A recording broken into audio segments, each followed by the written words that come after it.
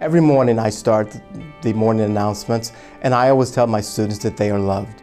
We truly are diverse. We have kids from so many different countries, backgrounds, uh, religious backgrounds, really every sense of that word diverse. The culture here at Fairfax High School can be put together with the phrase of we are family.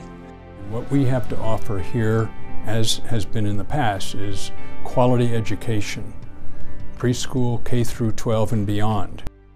In general, um, a teacher's value is, is it's hard to put a number on it. To accomplish my, my dreams and graduate from, my, from high school, they made me feel like I'm at home.